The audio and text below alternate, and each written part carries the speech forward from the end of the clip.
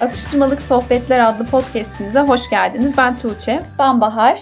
Bu hafta 5. bölümdeyiz. İlk bölümlerde hatırlarsanız minimalizm üzerine konuşmuştuk ve minimalizmin ikinci bölümüyle ilgili de bir podcast geleceğini söylemiştik. E, bu haftaki bölümde de Marie Kondo yönteminden bahsedeceğiz. Marie Kondo'nun Hayatı Sadeleştirmek için Derle Topla Rahatla kitabından yola çıkarak bu podcast'i çekmeye karar verdik. Evimi neden düzenli tutamıyorum diyenlerdenseniz bu podcast tam sizlik olacak. O zaman başlayalım. Evet, söz sende Bahar. Marie Kondo yöntemiyle ev düzenleme. Aslında 2018'in ilk bahar aylarında tanıştım ben KonMari yöntemiyle. Instagram'da karşıma çıktı işte değişik katlama şekilleri olarak. O dönemde zaten böyle hani şey bir sürü işte ders alıyorum. Yüksek lisans bitecek mi, bitmeyecek mi falan böyle hani kafamı boşaltmak için farklı şeyler aradığım bir dönemdi.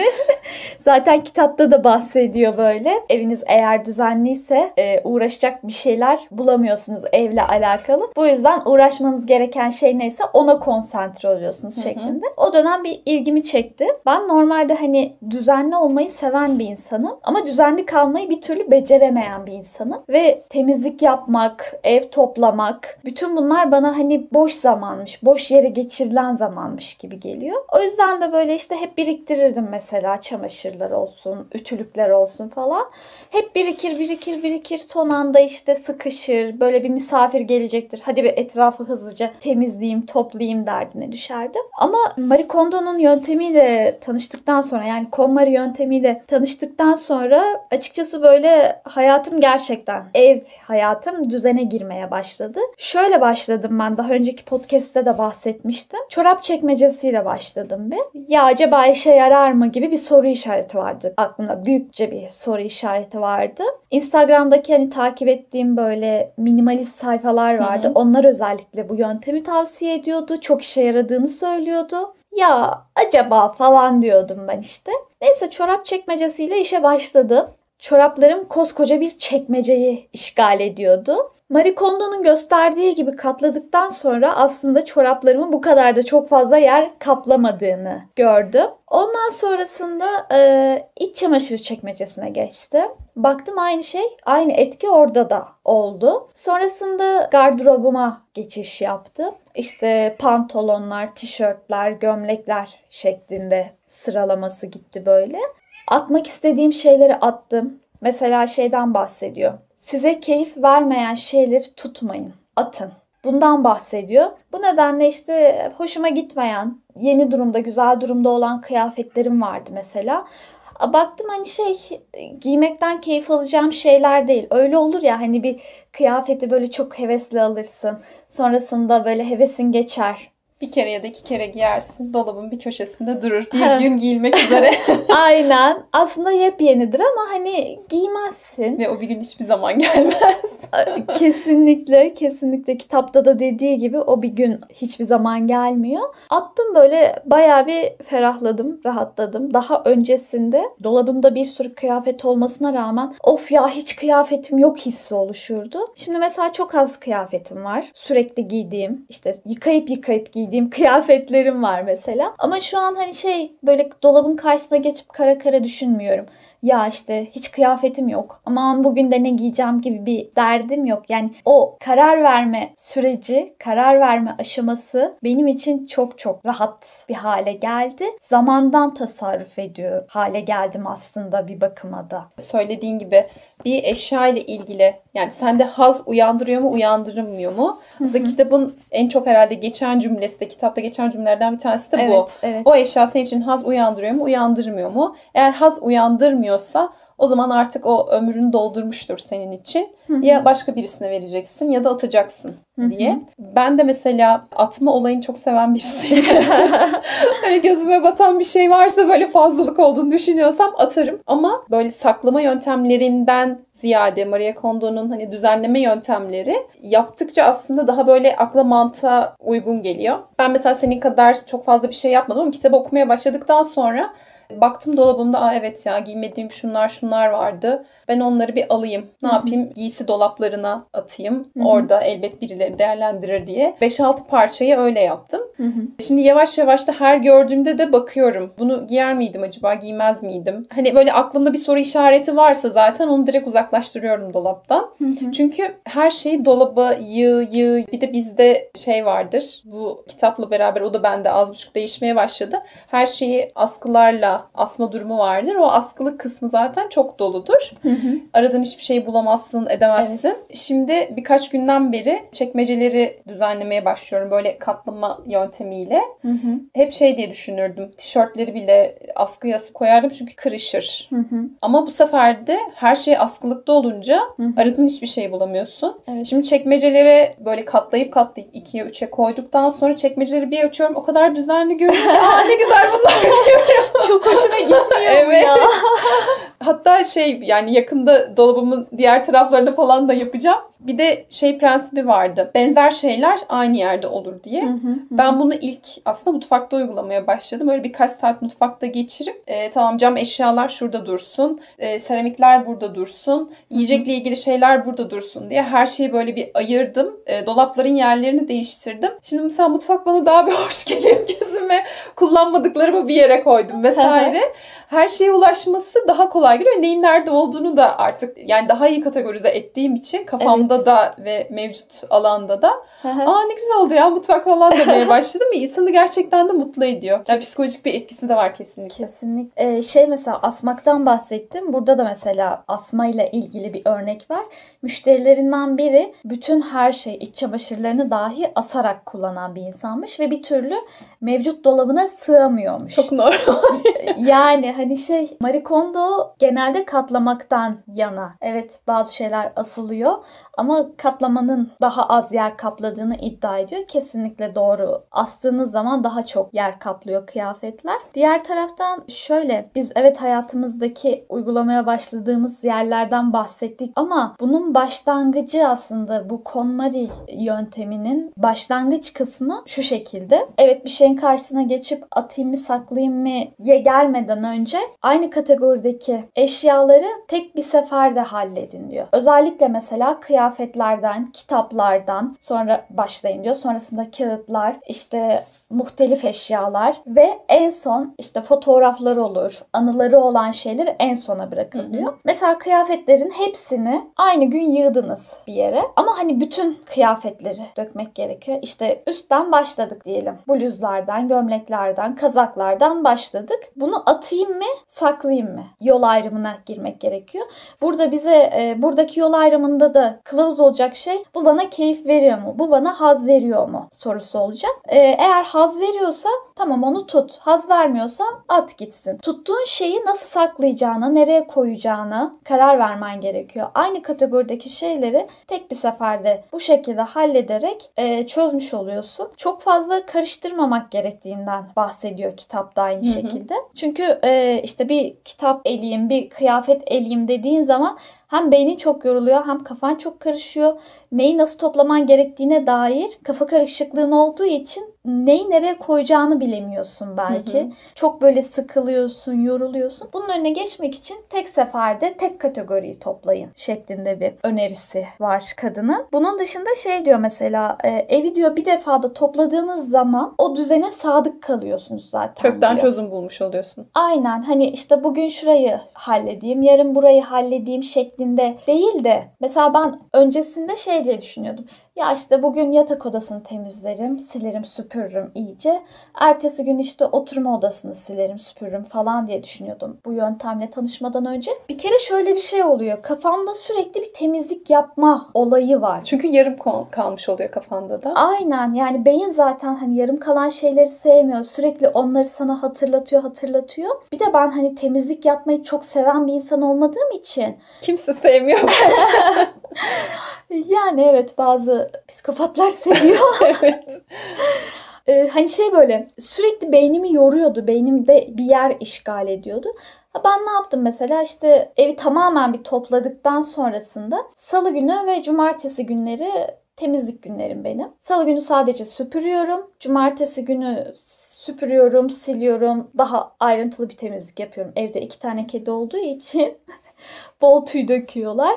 Onun dışında mesela çamaşırları yıkıyorum, katlıyorum. Katlayıp koyacağım yerler belli olduğu için işim çok daha hızlı ilerliyor.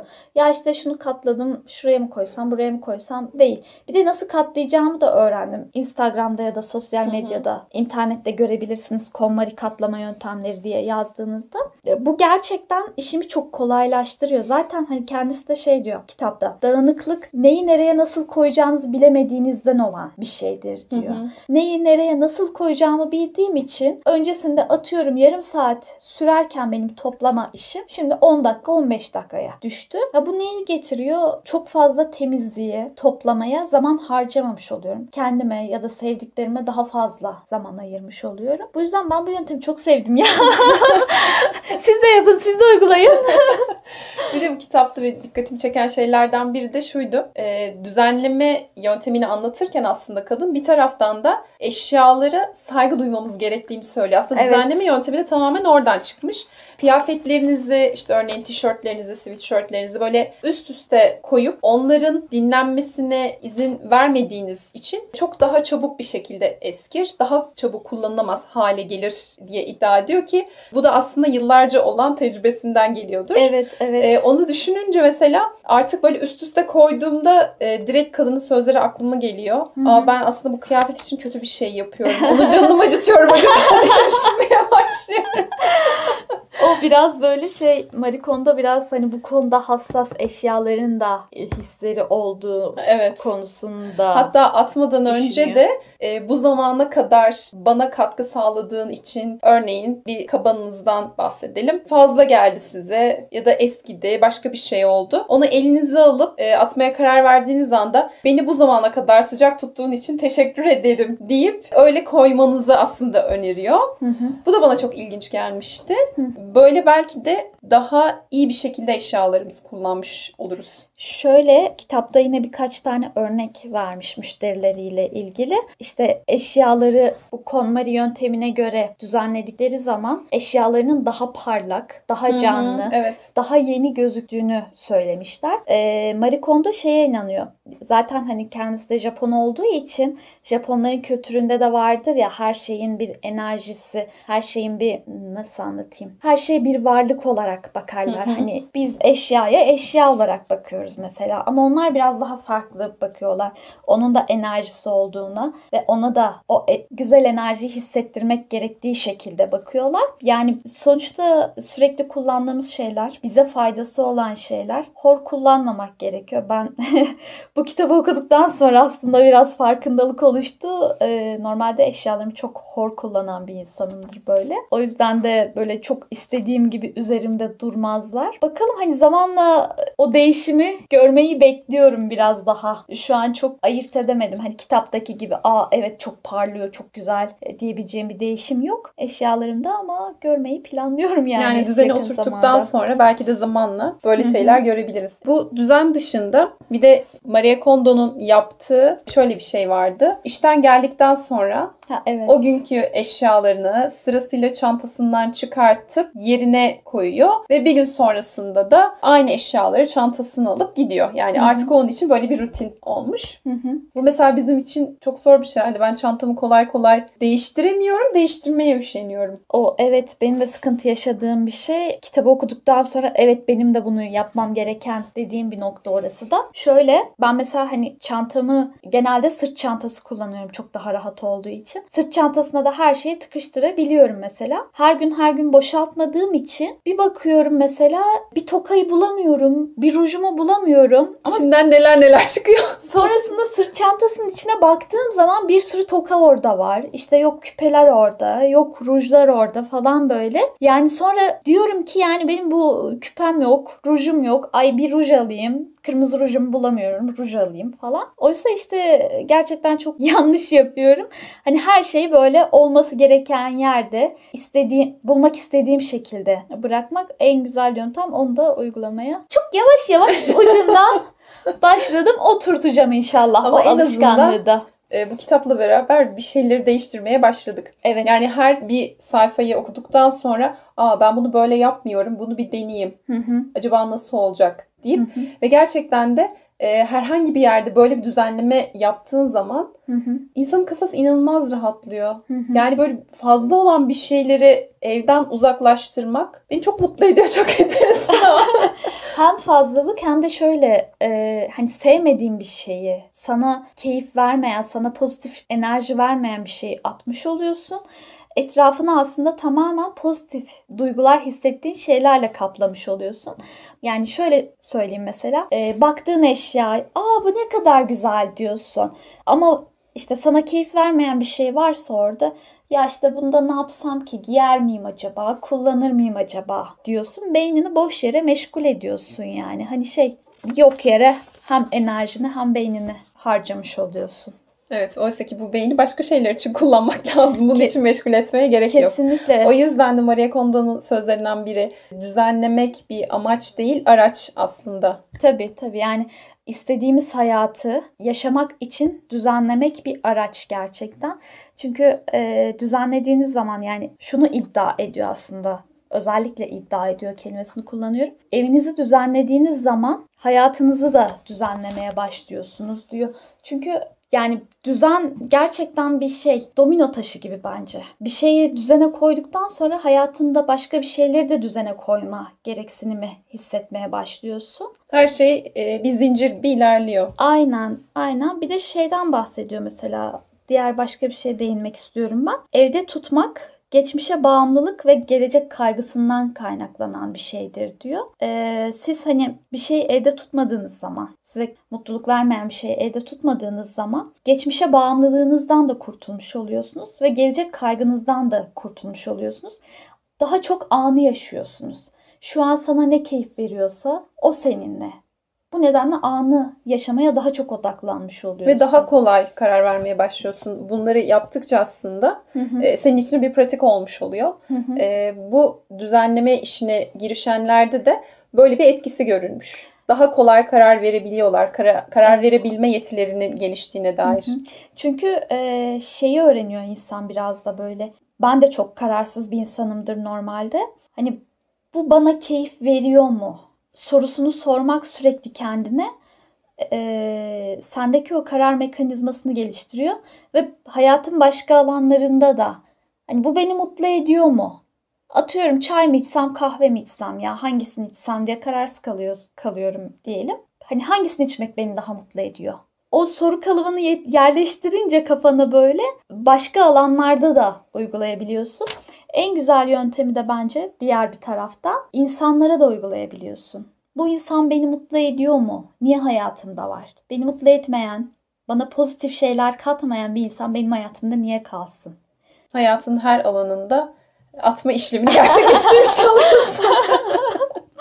aynen, aynen. O yüzden çok faydalı bir yöntem. Ben çok sevdim açıkçası. Yani hayatıma uygulayabildiğim bir yöntem. O yüzden çok hoşuma da gitti. E, zaten bu Japonlarda da bir ev düzenleme artık bir sanat haline geldiği için evet. genelde bu tarz kitaplarda hep Japonların Feng kitapları oluyor. Evet. Falan. Evet. E, pek çoğu da aslında e, doğayla uyum felsefesini işlemiş oluyor. E, nitekim Maria Kondo'ya göre de e, bir eşyanızın olması gerektiği yerde olması e, onu o şekilde kullanmanız aslında sizin açınızdan da doğal bir yaklaşım oluyor. Hı hı. E, o yüzden Feng Shui ya da diğer bu düzenleme sanatları ile ilgili de hı bağlantısını böyle ortaya çıkarabiliriz. O zaman konuşacaklarımız bugünlük bu kadar diyoruz. Eğer sizin de düzenleme ile ilgili farklı önerileriniz varsa ya da farklı düzenleme sanatları ile ilgili e, sohbet etmemizi isterseniz lütfen aşağı yorum olarak bırakın. Başka bir atıştırmalık sohbetlerde görüşmek üzere. Şimdilik hoşçakalın. Hoşçakalın.